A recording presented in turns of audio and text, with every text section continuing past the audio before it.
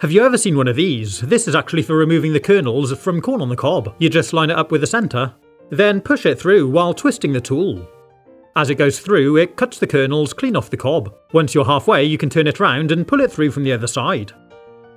And wow, that's worked really well, and these look beautiful and undamaged. Pretty cool, huh?